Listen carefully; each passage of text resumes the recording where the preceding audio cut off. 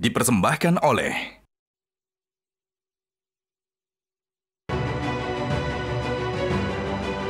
Pemirsa, berulang-ulang Hotman ingatkan kalau Anda mau bekerja dengan stamina tetap segar, contohlah Hotman Paris dan Sintayong pelatih timnas bola yaitu kopi luwak hitam premium kesukaan kami berdua. Kopi luwak hitam premium kesukaan Hotman Paris dan Sintayong pelatih bola timnas kita. Ini dia nih. Segar Hotman kan walaupun sudah kerja dari jam 3 subuh. Pertanyaan kepada ahli pidana kita Pak Asmi Saputro. Kita tahu dalam teori pidana motivasi dan kejadian sebelum terjadinya pembunuhan sangat relevan untuk menentukan kira-kira siapa pelakunya. Pertanyaannya dengan adanya tadi Dewan Pers mengatakan bahwa ada pemberitaan judi online dan sebagainya. Apakah menurut Anda dari segi hukum pidana kuat alasan mengatakan bahwa pemilik judi online itulah sebagai pelakunya ini? Bang Hotman, dalam hukum pidana tentunya kita mengenal kalau ada kejahatan, kita mengenal ajaran kausalitas. Ya, kausalitas. Ajaran kausalitas itu akan melihat apakah perbuatan tersebut akibat tindakan pelaku. Ya. Kedua, ajaran kausalitas juga melihat sebab lain, apakah karena sebab lain di luar tindakan pelaku. Ya. Ketiga juga akan menguji apakah ada rangkaian sebab akibat perbuatan pelaku dengan kejadian dibakarnya rumah tersebut. Ya. Kalau kita tarik tadi, kalau kita dengarkan bahwa dia sebagai profesi wartawan tanggal 21 diberitakan, tanggal 22 diberitakan, tanggal 23 diberitakan, tanggal 26 diberitakan, sampai kejadiannya tanggal 27. Ya. Maka tampaklah benang merahnya ada perbuatan signifikan. Ya. Kalau pemberitaannya judi, I'm so sorry to say that. Ini adalah satu yang sebenarnya penyakit oknum kita. Ya. Penyakit yang sudah sama tahu ada jual beli backingan dan menjadi proyek sampingan Ya. atau pencari objek sampingan dari Ya. aparatur kita. Yang mau tidak mau ini harus diakui. Ya. Kalau kita flashback sebenarnya dari tahun 1981 peraturan pemerintah nomor 19 nomor 9 tahun 81 ini Presiden Soeharto udah bilang tertibkan semua judi di mana pun dari sekecil-kecilnya. Ya. Udah clear. Karena ini kita lihat ternyata ada apa? Ini ada judi putaran uang yang gede. Orang Jadi- kalau putaran uangnya gede Bang Hotman, Ya. bisa jadi ini kita lihat apakah si wartawan ini mengetahui sampai badan atas atau memang hanya oknum tertentu ini saja. Kalau dia tahu rahasianya ternyata oknum yang diletakkan tadi ternyata ada setoran, Ya. memang ada perintah diketahui oleh atasan, jangan-jangan atasannya juga takut. Jadi dari segi teori pidana kausalitas, Anda setuju bahwa harusnya segera diperluas penyidikan terhadap oknum aparat yang ada kepentingan judi online tersebut. Oh tentu dong, supaya melihat sangat tidak adil meng- mengadili pelaku pembantu, Ya. katakan hari ini, tanpa mengungkap pelaku intelektualnya. Oke, boleh nggak Anda langsung eh, tanyakan kepada Bapak Kapolda, kenapa sampai hari ini belum diperiksa itu oknum aparatnya? Anda sebagai ahli pidana Ah. dengan teori kausalitas ini Pak Kapolda nih, coba silakan. Pak Kapolda, mohon izin Pak Kapolda. Komjen Agung Selamat malam, Mas. Pak Pak Jenderal Agung, Silakan, mohon Pak. izin ini Pak dosen lagi nanya. Pak Kapolda, Ya. mohon maaf ini Bapak kalau kita kaitkan dengan ajaran kausalitas seperti yang tadi sudah disampaikan berarti ada sebab akibat apalagi sudah diketahui ini adalah pemberitaan tanggal 21, tanggal 22, tanggal 23, 26 malah di situ ada objeknya. Bahkan tadi Ketua Dewan Pers menyatakan bahwa oknum tersebut minta di take down. Gitu loh Pak Kapolda. setelah pemberitaan. Setelah pemberitaan. Ada keinginan men-take down, keinginan menghapus, mengintimidasi pelaku sampai nggak berani pulang. Nah, Jadi apa per- apa per- permintaan Anda ke Pak Kapolda? Pak Kapolda, eh, kenapa ini sulit kalau memang sudah jelas dari temuan eh, katakanlah wartawan menyebutkan nama, menyebutkan kesatuan dan segala macam, kenapa ini tidak juga ditarik eh, atau diperiksa segera Pak Kapolda? Mohon izin Pak Kapolda. Silakan Pak Kapolda Sumut Komjen Agung. Terima kasih eh, Bang Hotman dan teman-teman sekalian.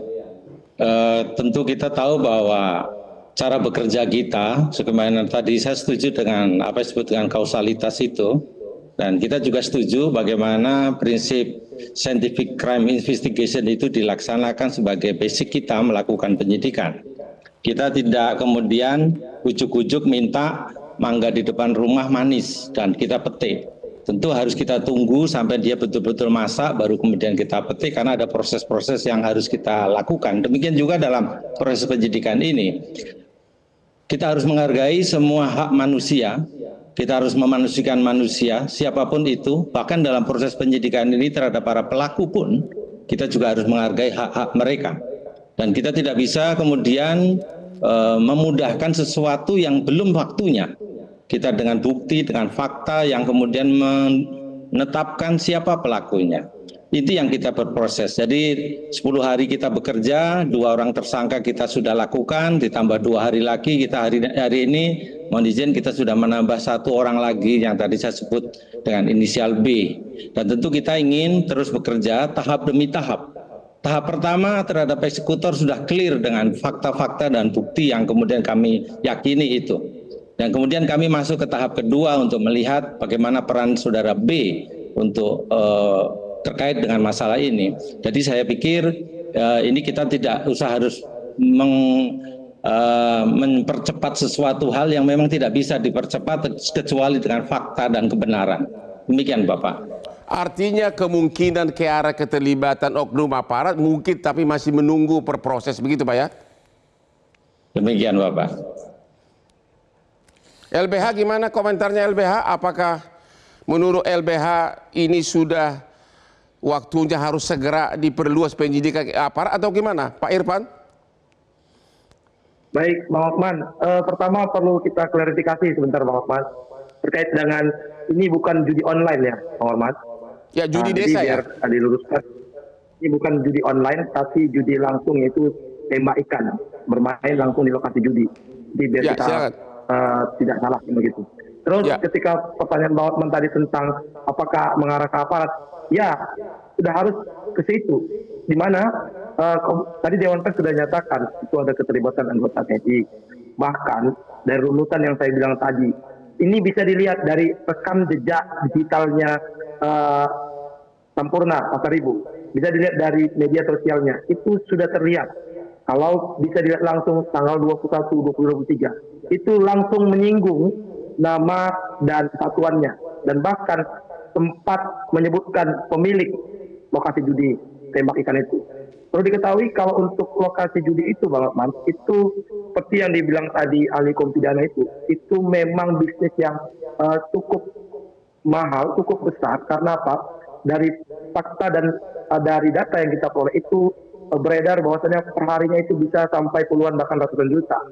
Dan oleh karena itu tidak lagi lah kita harus uh, ujuk-ujuk hanya kepada eksekutor dan tambahan lagi tadi yang disampaikan oleh Pak Kapolda. Maka ini harus mengarah ke mana? Kan biasa yang disampaikan tadi ahli pembinaan ada backingan-backingan. Oleh karena Oke, itu sebagai ini kuasa hukum sebagai kuasa hukum dari keluarga korban, apa permintaan Bapak sekarang kepada Bapak, Bapak Kapolda Sumut? Baik, uh, terkait dengan sebagai kuasa hukum korban, ya KKJ meminta uh, Polda Sumut itu bekerja secara objektif, transparan dan akuntabel. Tetapi tolong lebih, saya lebih, ada sedikit lebih, lebih, tolong lebih detail. Ter, apakah memang Anda minta segera ditingkatkan pe, pe, penyelidikan ke oknum aparat atau bagaimana? Ya, harus ditingkatkan. Tapi kan kalau ini ada anggota TNI, kan begitu pastinya polisi tidak bisa masuk di situ karena ada spesialisnya. Maka ini harus bekerja sama dengan Pangdam. Saya mau nambahin Bang Otman, saat konversi pers itu ada Pak Kapolda dan ada Pak Pangdam. Apa urgensinya Pak Pangdam Pangdam ada di situ? Terus ini juga bukan tentang langsung eksekutornya, tapi ini harus dirunut juga.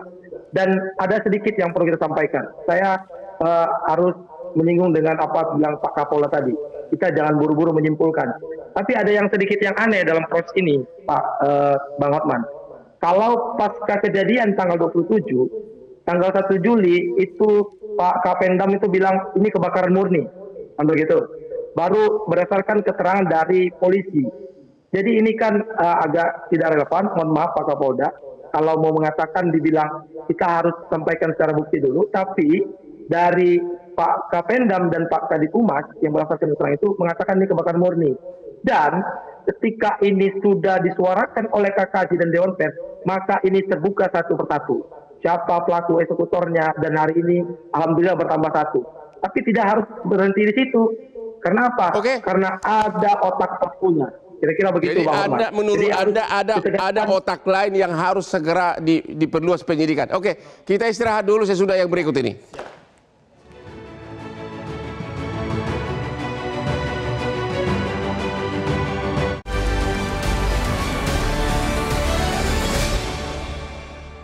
Dipersembahkan oleh Jelajahi cara baru mendapatkan informasi. Download Metro TV Extend sekarang.